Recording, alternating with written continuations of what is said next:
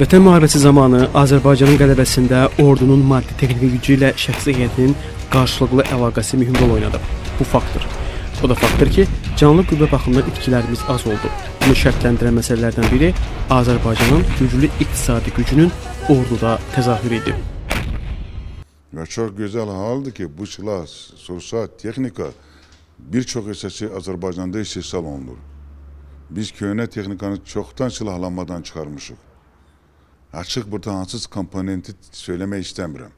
Çünkü bu o kadar burada məhfi meseleler var diye bilmirəm.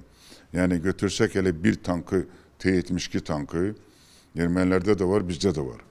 O tankına bizim tankın vəziyyəti nə, nə səviyyədədir? Atış sistemlərində onlarda vəziyyətini də bizdən itərdi. Kəşfiyyat cihazlarında onlardan itər, bizdən itərdi. Motor hissəsində götürək həmin mərmilərin strukturu və yaxud hazırlanması, ekipajın daimi bu meselelerde mesela davranış kaydaları götür pilotlarımız Azerbaycan ordusunun kifayet kadar hem kırıcı teyarlar var hem hamle teyarlar var. Yani cephe aviyasası hem de ordu aviyasası vertolyotlar var. Demeli uçuş aparatları var var. Bunun sənəti ancak gece gündüz uçuşmak olup tapşırıqlar yerine getirmek olup.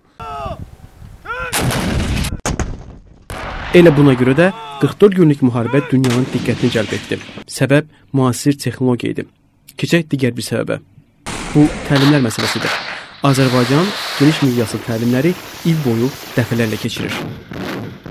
Hərbi qulluqçular nə qədər təlimlərdə iştirak edir? Bu fərdi hazırlıqla məşğul deyil.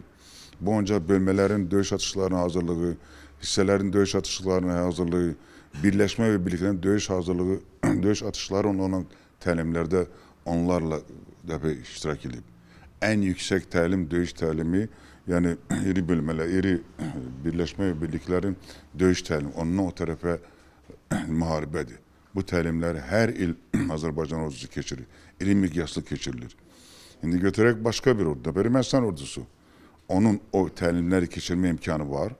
Bir mərminin qiyməti nə qədər puldur? Bir raketin qiyməti nə qədər puldur? Yanacağın qiyməti nə qədər puldur? Qoşunların o səhra ərazini çıxarıb onların yaşamalarını, ona döyüş fəaliyyət təşkil etməsənin ona imkanın varmı? Bu döyüş tapşırıqlarını onun üçün rahatdır. Niyə? Çünki o təlimlərdə o döyüş tapşırıqlarını 50 dəfə icra edib.